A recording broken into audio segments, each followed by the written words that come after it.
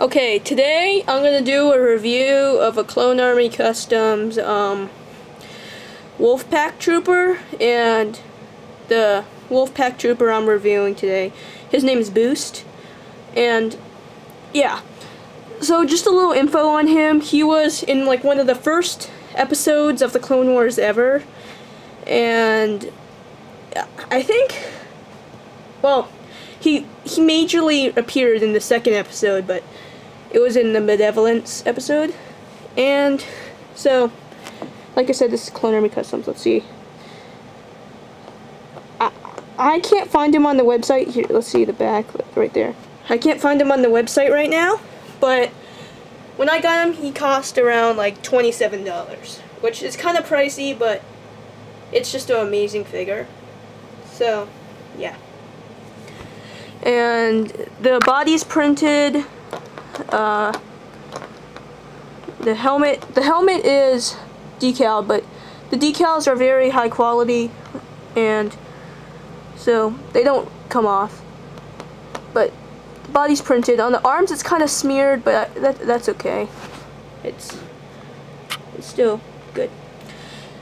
But so I got this clone actually like a while back. Like when I say a while back, I meant like a while while back. And I got, well, I got him back when Clone Army Customs used to use decals on his body. And here's the story. So I got him, and sadly, this is the old torso. Let's see, right there. It he uses the old knee pads. The new Clone Army Customs uses those knee pads. But when I got him, like almost immediately after having him, his back decal came off. So I was like, oh man, that really stinks. So um, we contacted Clone Army Customs, and he gave me um, a new printed body, which is really nice. But I also got this guy in that order too, this ARF Trooper, um, Razor Squad maybe, I think Raptor, I don't know. But I, I used kept the decal body on him. He also gave me a new torso for him. But, uh, look, um, let's see. Well, there we go.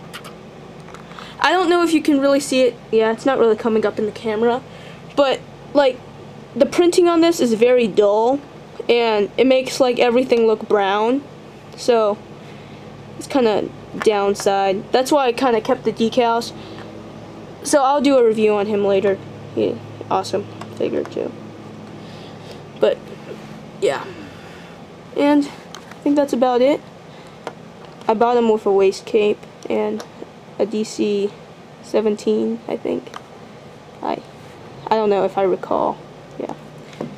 See, let's see how overall figure the arm beautiful printing. It's like a piece of art right here.